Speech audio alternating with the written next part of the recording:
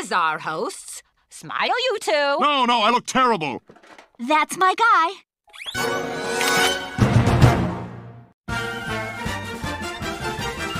Good morning, USA. I got a feeling that it's gonna be a wonderful day.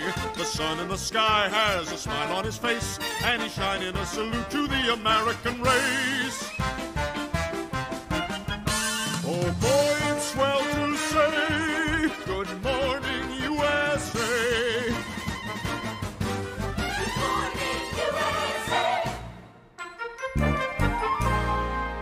Stan, quit spying on the neighbors. Today's the day, Francine. Today I will finally beat that smug bastard Chuck White to church. Look at him, zipping up his fly like he owns the place. Well, today I get the shady parking spot.